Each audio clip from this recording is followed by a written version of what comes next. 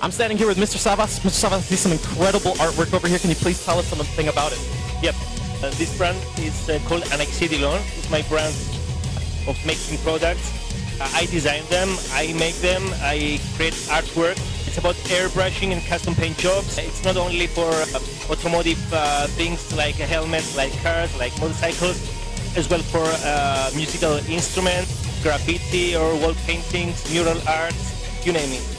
And if somebody wanted to get this done, how could they come in contact with you? Uh, they can contact me via internet. Mr. Savvas, thank you very much for your time. You're welcome. Have a great day. Cheers.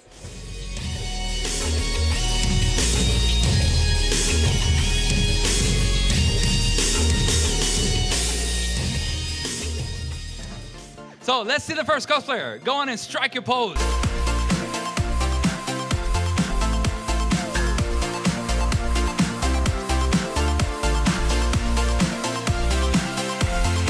That was beautiful. No, not done with you. Come here. Come right here. Judges?